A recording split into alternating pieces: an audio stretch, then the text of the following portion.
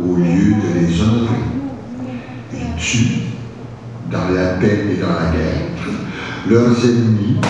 Ils s'emparent par la force ou la ruse et bien d'autrui. Ils désirent la femme et les choses des autres, pratiquent sans scrupule la fornication et pire. Ah, et pire. Et pire point, en fait?